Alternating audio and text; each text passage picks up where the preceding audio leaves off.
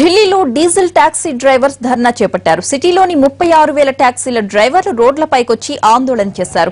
ఢిల్లీలో డీజిల్ వాహనాలపై సుప్రీంకోర్టు నిషేధం విధించడంపై వారు నిరసన వ్యక్తం చేశారు. ఢిల్లీలో రెండున్నర లక్షల ఇతర వాహనాల వల్ల పొల్యూషన్ జరుగుతుంటే వాటి గురించి పట్టించుకోవడం లేదంటూ ఢిల్లీ పోలీస్ డిపార్ట్మెంట్ గ్రీన్ ట్రిబ్యునల్పై విమర్శలు గుప్పించారు.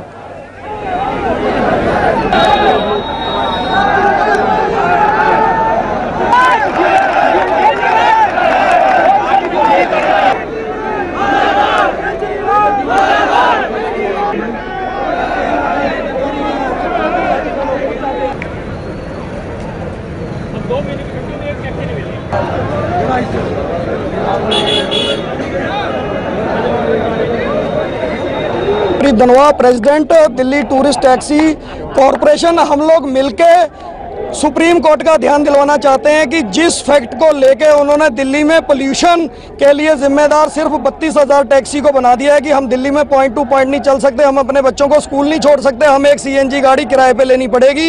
एक सिंगल मैन जो अपनी गाड़ी से दिन में काम करता है और सुबह शाम अपने बच्चों को स्कूल छोड़ता है वो टैक्सियाँ बंद कर दी जा रही हैं। दिल्ली ट्रैफ़िक पुलिस की वजह से कि ये गाड़ियाँ दिल्ली में नहीं चल सकती।